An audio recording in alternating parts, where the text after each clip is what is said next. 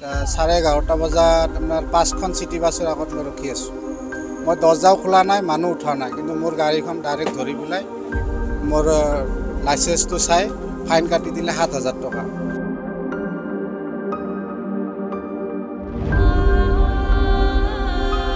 এতিয়া মই ইয়াত পি এফ চি এফ কাটি পেলাই মই দহ হাজাৰ টকা মই দৰমহা পাওঁ। এতিয়া এই সাত হাজাৰ টকা ফাইন মই ক'ৰ পৰা দিম? দহ হাজাৰ টকা উপাৰ্জনৰ মাজতে কিন্তু এখন বিশেষ এখন জৰিমনাৰ এখন শ্লিপ এই মুহূৰ্তত মোৰ হাতত আহি পৰিছে। য'ত স্পষ্টভাৱে ইয়াত উল্লেখ আছে যে চৰকাৰৰ ৰাজভঁৰালত এই লোকজনে জমা দিব লাগিব প্ৰায় সাত হাজাৰ টকা।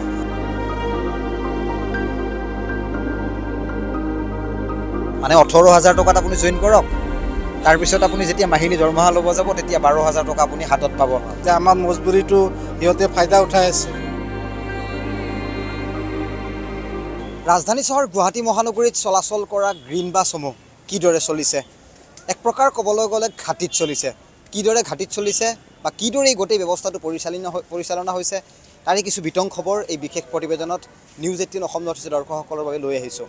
আৰু মই সাংবাদিক দীপাংকৰ দাসে এই বিশেষ সম্প্ৰচাৰলৈ স্বাগতম জনাইছোঁ আৰু এই মুহূৰ্তত মই খানাপাৰাৰ পইণ্টত উপস্থিত আছোঁ আৰু খানাপাৰাত এজন গ্ৰীণ বাছৰ চালক মোৰ লগত উপস্থিত আছে আৰু তেওঁ কিছু ইয়াৰ জ্বলন্ত সমস্যাৰ কিছু উদাহৰণ কিছু তথ্য আপোনালোকৰ সন্মুখত প্ৰকাশ কৰিব।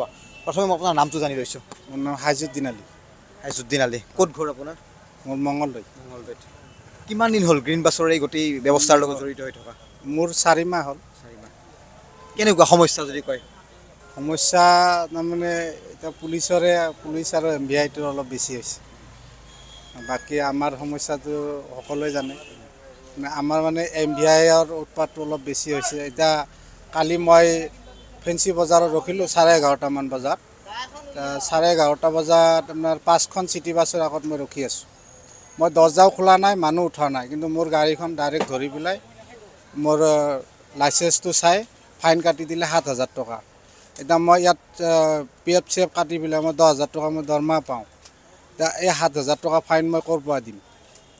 মানে এতিয়া প্ৰথম কথা যে এই লোকজনে গ্ৰীণ বাছ চলায় আৰু তেওঁ মাহিলী দৰমহা উপাৰ্জন কৰে প্ৰায় বাৰ হাজাৰ টকা। অৰ্থাৎ পি এফ কাটে চাগে ন? হয়, PF কাটে। অৰ্থাৎ প্ৰিভিডেণ্ট ফাণ্ডৰ নামত তেওঁ পোন্ধৰশ বা ওঠৰশ টকা চৰকাৰক জমা দি আহিছে। অৰ্থাৎ তেওঁ প্ৰায় আনুমানিক দহ হাজাৰ টকাটো প্ৰতিমাহে উপাৰ্জন কৰি আছে। কিন্তু দহ হাজাৰ টকা উপাৰ্জনৰ মাজতে কিন্তু এখন বিশেষ এখন জৰিমনাৰ এখন শ্লিপ এই মুহূৰ্তত মোৰ হাতত আহি পৰিছে য'ত স্পষ্টভাৱে ইয়াত উল্লেখ আছে যে চৰকাৰৰ ৰাজভঁৰালত এই লোকজনে জমা দিব লাগিব প্ৰায় সাত হাজাৰ টকা।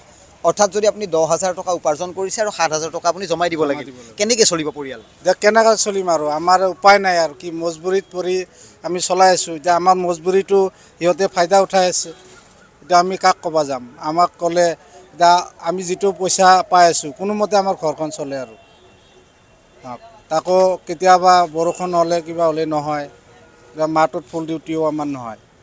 আৰু যদিও আমাৰ পইচা যদি মাইনাছ মাইনাছো লাগে মাইনাছ হ'লে আমি সেইখিনিও নাপাওঁ।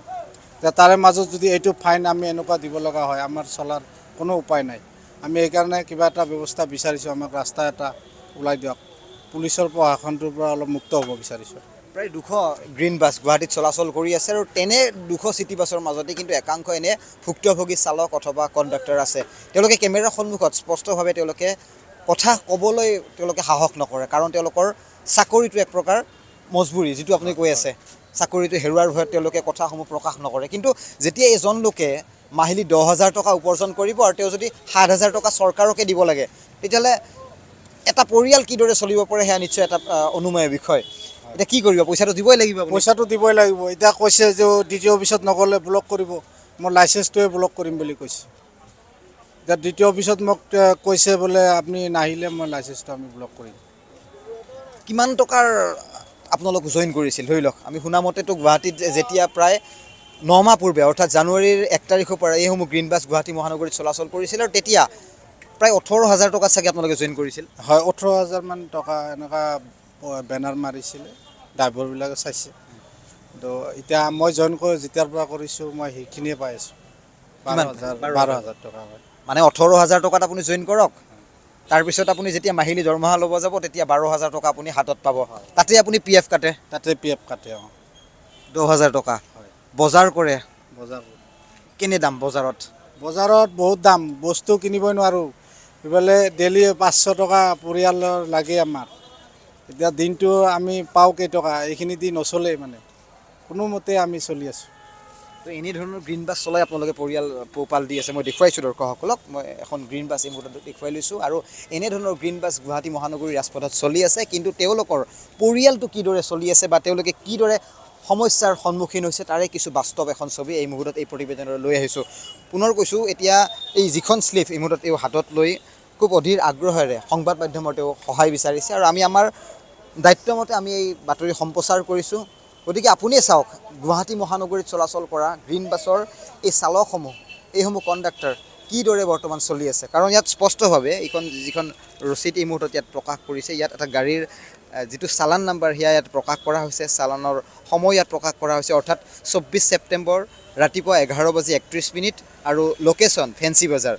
অৰ্থাৎ তেওঁ পাঁচখনমান গাড়ীৰ পিছপিনে গাড়ীখন ৰখোৱা আছিল দৰ্জা বন্ধ আছিল আৰু তেনে সময়তে এই গাড়ীখনৰ জৰিমনা বিহা হ'ল। অৰ্থাৎ জৰিমনা বিহা হৈছে লাইচেঞ্চখন স্কেনিং লাইচেঞ্চ থকাৰ বাবে সাত হাজাৰ টকা কটা হৈছে।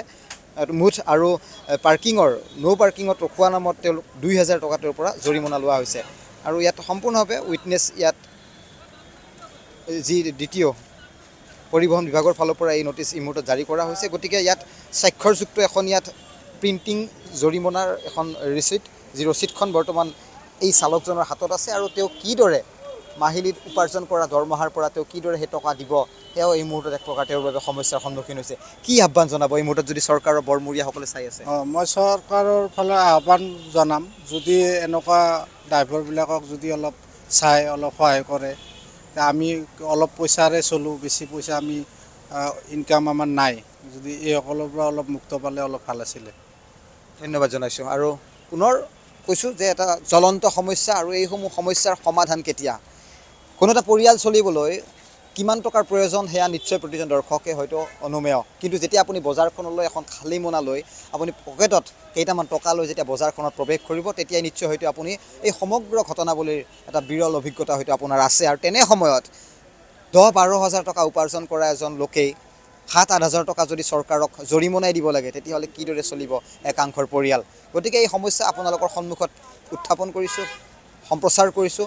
সমগ্ৰ ঘটনাৰ সমালোচনাৰ বিচাৰভাৰ আপোনালোকৰ সন্মুখত এৰি মই এই বিশেষ সম্প্ৰচাৰৰ পৰা দীপাংকৰ দাসে বিদায় লৈছোঁ। বিভিন্ন খা খবৰ আৰু বাবাতৰিৰ বাবে আপোনালোকে চাই থাকিব। News eighteen Assam north east ধন্যবাদ।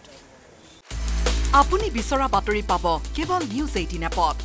নিউজ এইটিন এপ ডাউনলোড কৰিবলৈ স্কেন কৰক এই Q R code Google Play ষ্টৰতো পাব এই নিউজ এইটিন এপ